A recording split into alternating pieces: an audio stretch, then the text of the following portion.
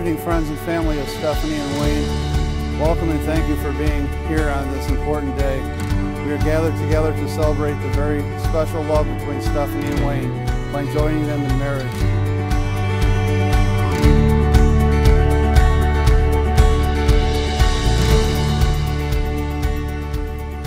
Stephanie Wayne, please hold hands.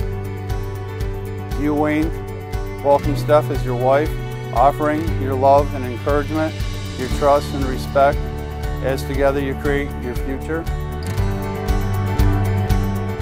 You, Steph, welcome Wayne as your husband, offering him your love and encouragement, your trust and respect as together you create your future. Wayne, who would have thought I would have met the love of my life going out for St. Patrick's Day with a few of my friends? You instantly became my best friend and my favorite person to talk to. So as we stand here today, I can't help but feel a mix of emotions. Uh, how excited and scared I am for our future. But I know as long as we're by each other's side, we can get through anything.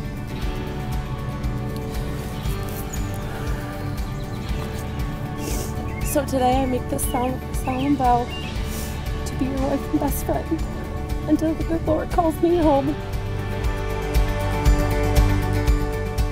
Stephanie Rosetta Plum, I promise to love you and care for you for the rest of our lives. From the day I met you, I didn't think I would, would have fell in love with you so fast. You have been my rock and my soul from day one. You have been with me through ups and downs from the day I lost my mom to the day where we finally say I do.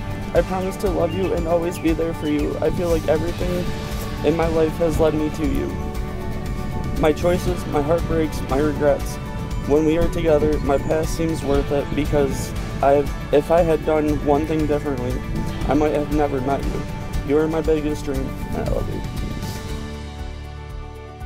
I give you this ring as a symbol of my vow, I give you this ring as a symbol of my vow, and with all that I am, and with all that I am, and with all that I am, and all that I will have, and all that I will have, I will honor you.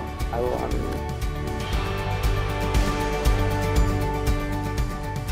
I give you this ring as a symbol of my vow, I give you this ring as a symbol of my vow, and with all that I am, and with all that I am, and with all that I have, and with all that I have. I will honor you. I will.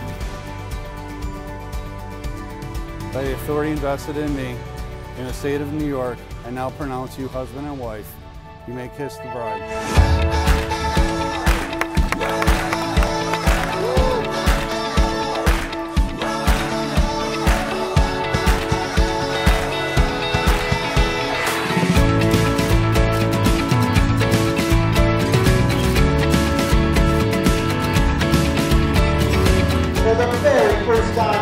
Ladies and gentlemen, give it up for Mr. and Mrs. Bonneville!